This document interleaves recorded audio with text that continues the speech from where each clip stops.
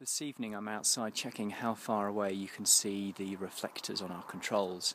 I'm using a Silva trail runner head torch which is about 80 lumens I think.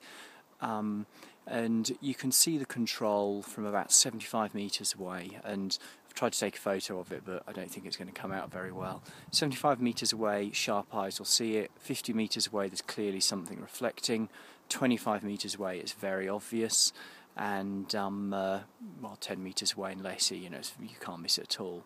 Uh, so I think that's probably about right for being accurate with your navigation. You're going to need to be definitely less than 100 metres um, proximity to, to the checkpoint to be able to see them, and anything further than that, and they won't reflect.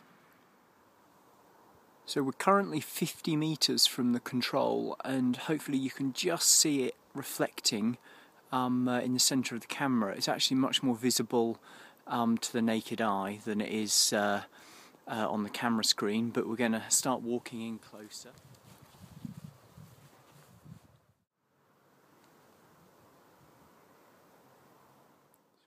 So I'm now at 25 metres um, and I think you can see that's reflecting pretty well.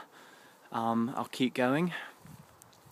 I'm actually on the uh, recreational playing field behind my house, so it's a little bit of ambient light from the um, uh, houses, about 10 metres. Here we go, there's the control.